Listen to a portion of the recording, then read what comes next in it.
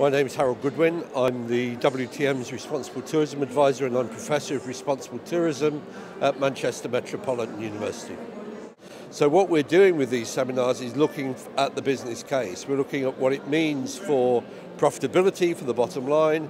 We're looking at what it means for market demand, for PR and coverage, for staff morale, and critically for license to operate. Some of the easy ones, I think, are the cost savings around particularly um, electricity consumption, fuel consumption in general, and water, all of which are becoming important um, cost, uh, costs to businesses, all of which can be reduced.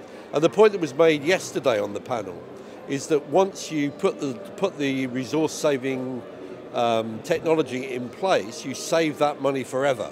And lots of the GMs and engineers that I've been talking to here in Dubai and in Cape Town and before that in Sao Paulo are saying the same thing now. You're insane if you're a GM and you're not cutting your costs through being more efficient in your use of resources.